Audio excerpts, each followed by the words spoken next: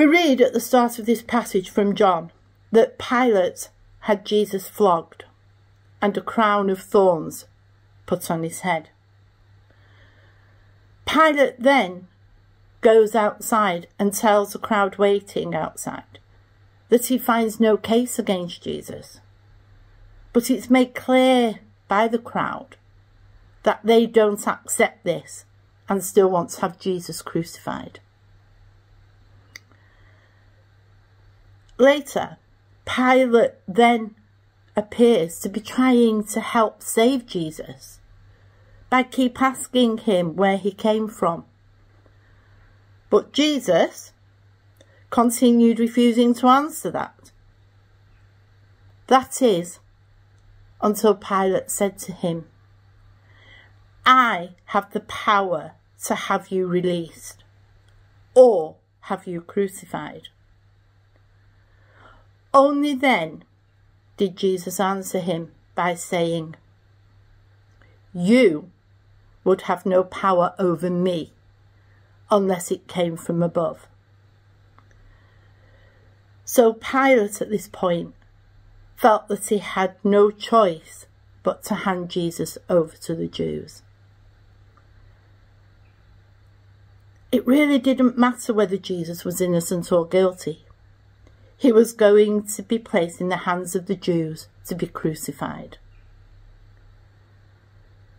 In today's world, the public form their own opinion about if another person should be persecuted based on rumours. And then they feel they can take action accordingly. Even if one person in the crowd thinks it, it thinks it's unfair, they don't try to stop it.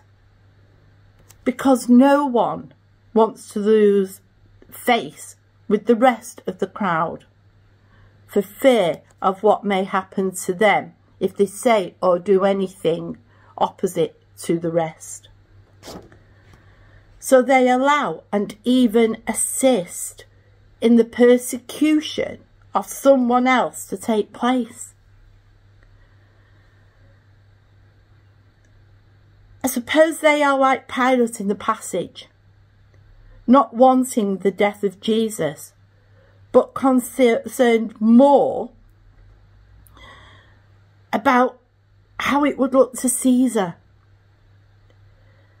and how he would lose favour in the eyes of Caesar and even suffer himself for letting Jesus go free.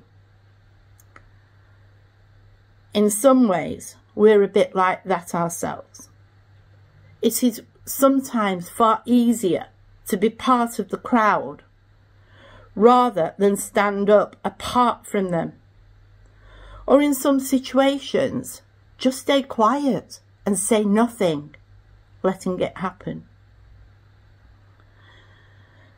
Pilate handed Jesus to the Jews, knowing what the fate of Jesus would be, regardless of his innocence. So we ask ourselves, are we going to be like Pilate, afraid of standing up for what he thought himself? Or be confident and brave enough to speak out about our own faith?